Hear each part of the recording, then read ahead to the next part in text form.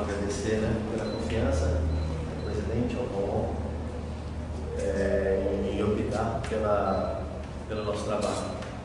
Depois que eu possa falar com vocês que a gente vem com, com, com intuito só de, de, buscar esse sonho, realizar esse sonho. A gente sabe que não é fácil, é uma competição parelha, é uma competição difícil.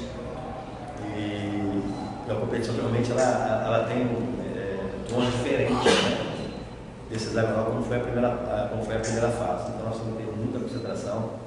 É um dos motivos que fez com que eu aceitasse, além do, do da dignidade, do caráter, da maneira que vem sendo conduzido a, a, os projetos aqui do, do, do, Nacional, as pessoas que estão em frente, né, na frente, e o grupo de jogadores que tem. Então, me sinto lisonjeado, primeiramente, de a partir de agora fazer parte desse projeto.